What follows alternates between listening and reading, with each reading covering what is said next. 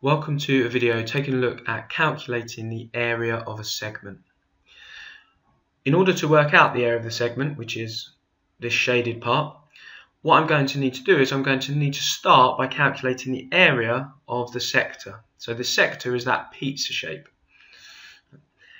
Then, once I've worked out the area of the sector, if I can work out the area of that triangle, what I can then do is I can subtract the two to work out what the area of that segment will be. So first thing I'm going to do is I'm going to start by calculating the area of the sector.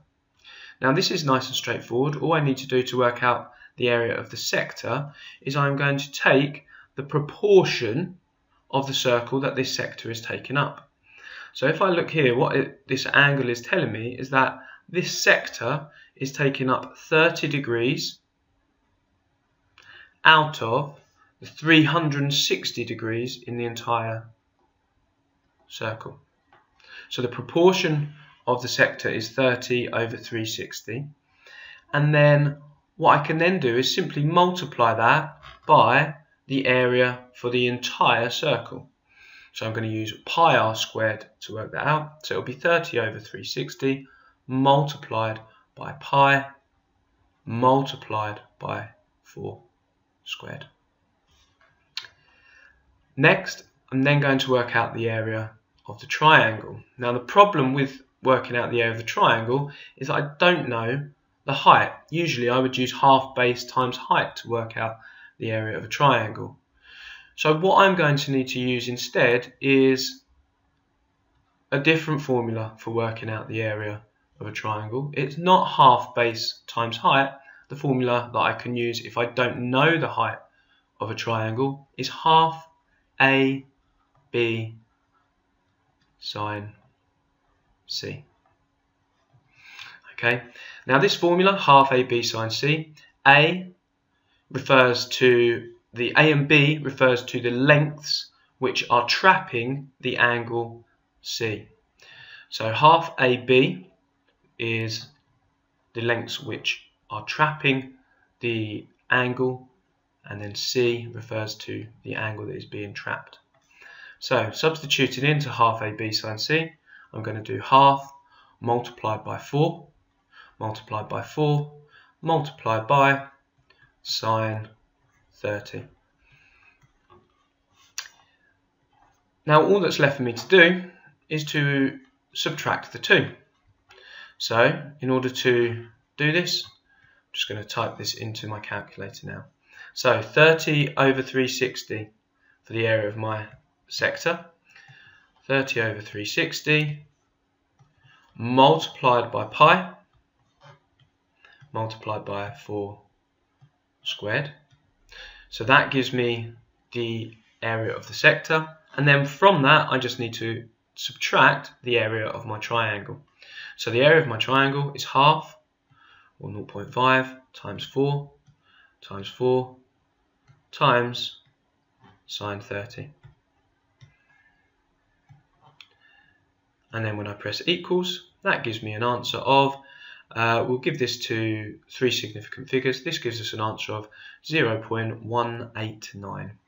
0 0.189 to three significant figures. We're dealing with centimetres, so that is centimetres squared. Okay, Let's take a look at a second example. Again, same idea. I'm going to start to, in order to calculate the area of this segment, I'm going to start by calculating the area of the sector, the pizza shape. So, the proportion of the sector that I've got here is 70 degrees out of 360 and then multiply that by the area of the entire circle which we'd work out using pi r squared so multiplied by pi times by 8 squared. Then, working out the area of the triangle, again, I'm going to have to use the half AB sine C formula. And so that is going to give me half multiplied by the two lengths which trap the angle. So it's half multiplied by 8 multiplied by 8. So multiplied by 8 multiplied by 8. And then I'm going to multiply that by the sine of the angle that has been trapped by the two lengths, which is 70. And just a little thing here, obviously this length here is 8 as well, because that is um, that length will be the same because it's a radius of the circle. So last thing to do is to then work out what the area of the segment will be. And I'm then going to just type this all into my calculator and subtract the two. So for the area of the sector, 70 over 360 multiplied by pi multiplied by 8 squared. So that gives me the area of my sector. And then from that, I'm going to subtract the area of the circle. So half multiplied by 8 multiplied by 8 multiplied by sine 70 and that gives me an area of my segment of and again I'll give it to three significant figures 9.03 9.03 this time we were dealing with meters, and so that's 9.03 meters squared. Okay. Uh, what I've got here for you, for you is two questions that you can practice on. If you pause the video now, um, attempt these questions, and then press play to see the answers.